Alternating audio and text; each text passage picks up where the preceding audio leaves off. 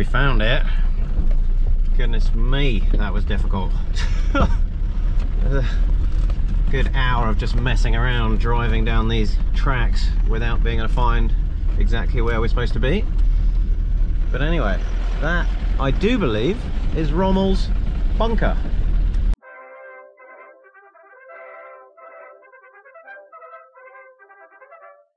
Today we are at the Military Museum of the Mareth Line. Let's go and take a look around. Got two French artillery pieces here out front and the fluttering Tunisian flag.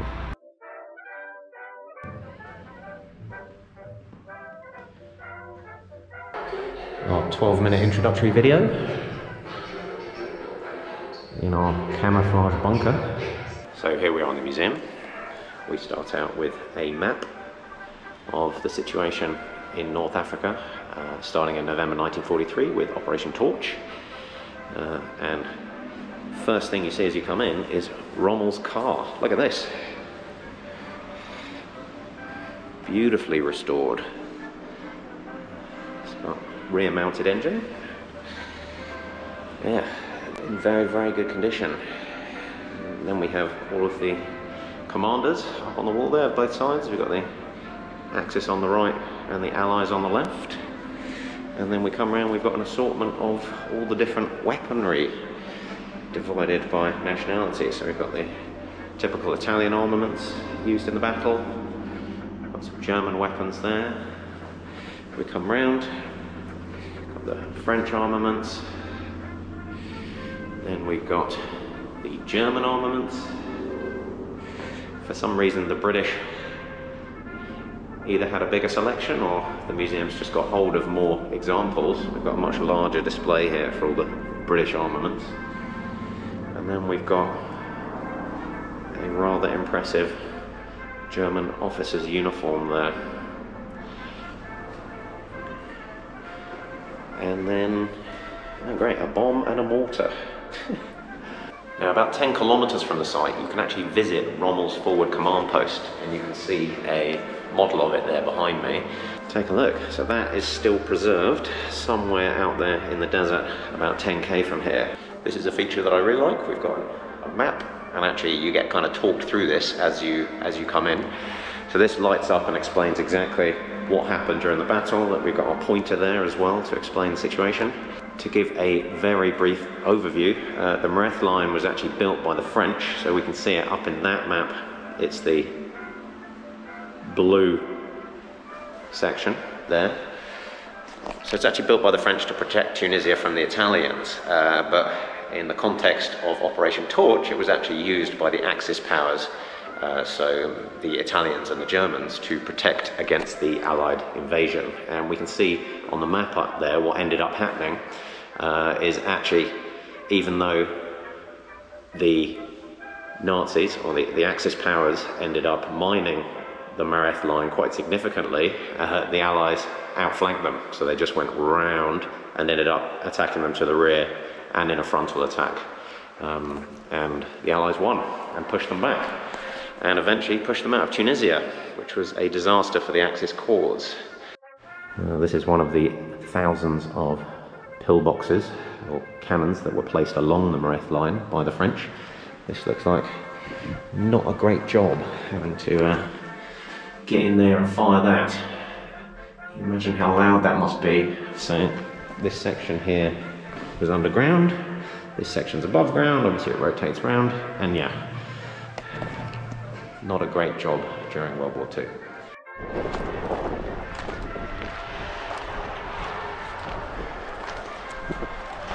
So this is us touring the Axis side. So they're looking along the Mareth line out there towards the Allies who are attacking. And the Mareth line stretching all the way from Toujane over there in the hills, all the way down to the sea, which is about 40, 45 kilometers away. Looks like we're heading into another bunker. So we're now down in one of the bunkers used by the Axis forces. So this is a two-man bunker. You've got one guy sticking a periscope up there, looking to see what's going on, and then the other guy, there would have been radio posted in here. He'd be passing the information back to the generals behind them to tell them what was going on.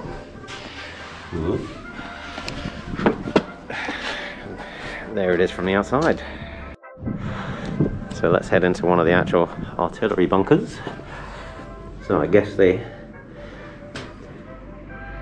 I guess the cannon would have been mounted there and facing out this way. Scanning out over the horizon over there and also shielding the next bunker along. Um, and if we look out here, we've got another hole we can see out. But we can see another bunker just down there. And then out you can see the hills over in the distance. This is quite low. This is quite low, having to duck down in here. Again, doesn't seem like a great place uh, to be posted during the war. But yeah. Here we've got a 40 millimeter British anti-aircraft weapon. See what it says on the side. There we go. 1943, yeah. British Gaza, 14 millimeter. 40 mil. This is German. We've got 102 millimeter. Look at the size of that.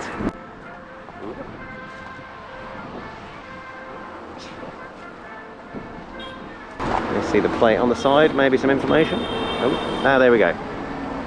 Got the serial number and the date. 1942. The the number for this model. Okay. Uh, Rommel was uh, a good 10k that way, so this isn't where Rommel was.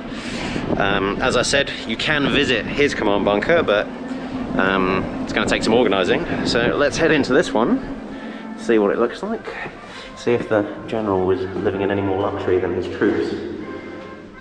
Ooh. Okay. Interesting.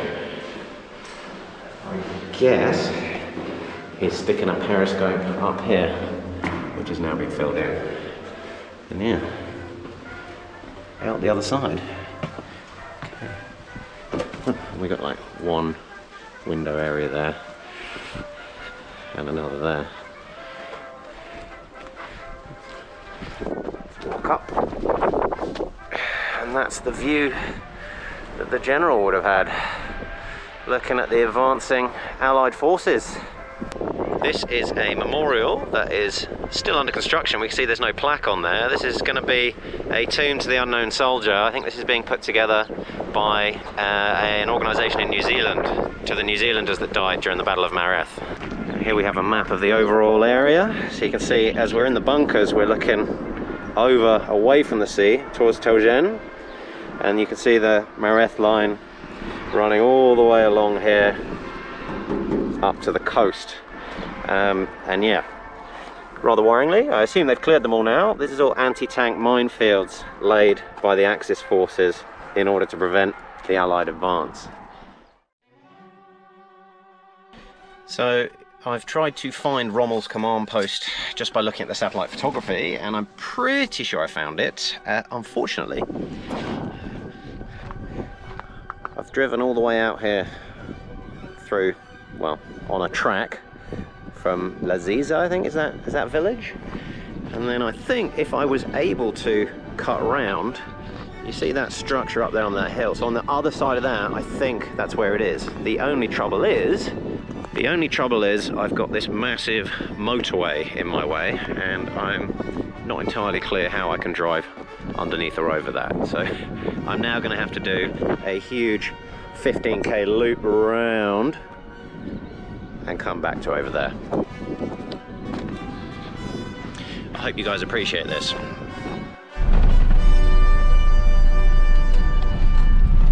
We found it. Goodness me, that was difficult. good hour of just messing around driving down these tracks without being able to find exactly where we're supposed to be. But anyway, that I do believe is Rommel's bunker. And as you can see, the road doesn't really exist.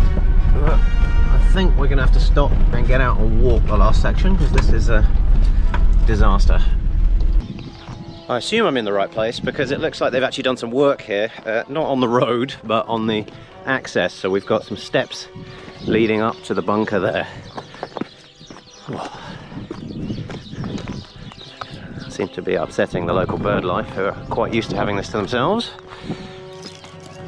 Now I know that there are some trenches up on the high ground, or at least I think I could see them from the satellite photography.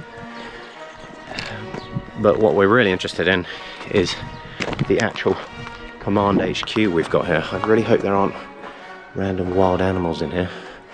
Let's have a look. Hello? Okay, it doesn't smell great in here.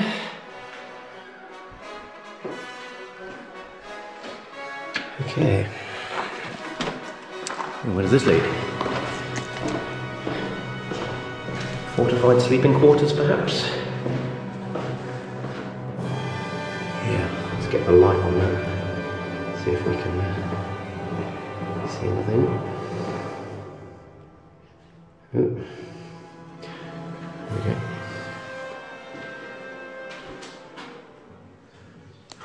We can see wooden holes for wooden posts. Might have been holding bunk beds or something. Um, oh wow. Head round. Ooh, lots of insects. Ah, disturbing local lizards. Okay. Another big room. Yeah, this is probably sleeping quarters in here. Yep. Into the light.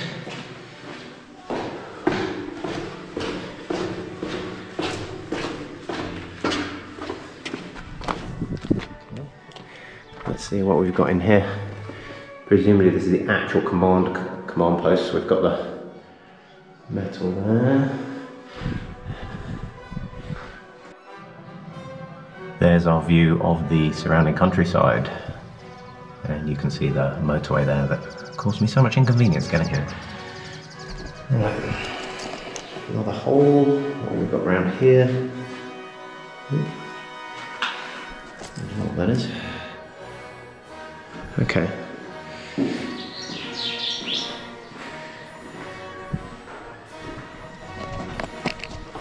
What an incredible piece of history.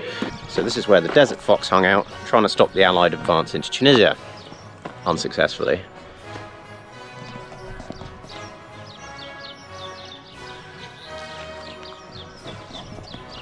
Amazing sight.